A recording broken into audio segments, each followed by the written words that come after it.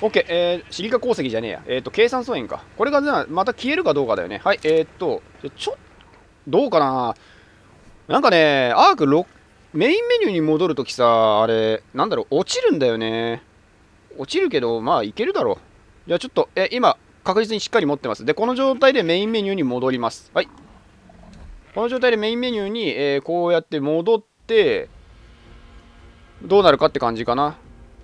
こっから長いんだよな。やばい。どうしよう。なんか、なんか話そう。何か話そう。何か話そう。うん。そうだな。えー、っとね。いや、でもこれはまだ言わなくていいか。いや、言った方がいいかな。まあ、言っといていいか。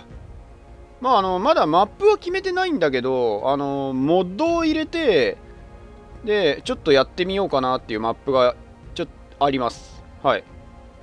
あ、モッドっつっても、なんだろう、あの、なんだろう、えっと、まあ、チート系のモッドじゃなくて、なんだろう、その、新しい恐竜追加系のモッドっていうのかな？うん。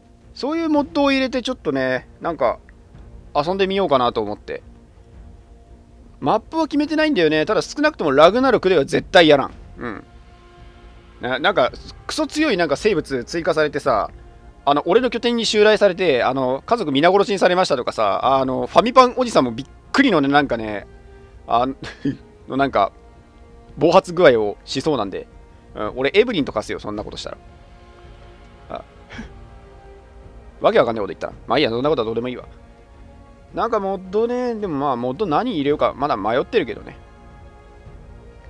まあ一応目星があるモッドはすでにもうなんだっけ、サブスクライブしてるんだけどね。はい、えー、えっと、メインメニューに戻ってきまして、やっぱり録画ソフト起動してるとすっげえ重たいんだな、これ。めちゃくちゃ重いわ。あ、ほれ、えっ、ー、と、こっちのほれ、利用可能なモッドのとこに、まあ、いくつかちょっと、えー、モッドを入れてるんだけど、あ、まあ、昔？昔使ったほら、あの、ポケボールモッドとかもあったりすけどね。今、公式でポケモンボール出ちゃったからな。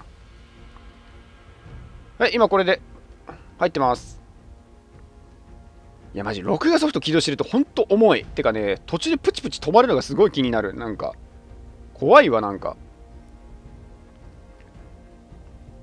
てかさ、絶対あれだよね。あの、これで消えたらもう確実にバグだよね。はい、戻ってきました。はい、えー、え、えー、何にもカットしないです、ここ。ここ何にもカットしないです。あの、俺のたわいのないクソみたいな、なんかバイオセブンみたいなことややってた以外は何にもないです。さて、見ていきましょう。はい、消えた。はい、消えた。はい、バグ確定。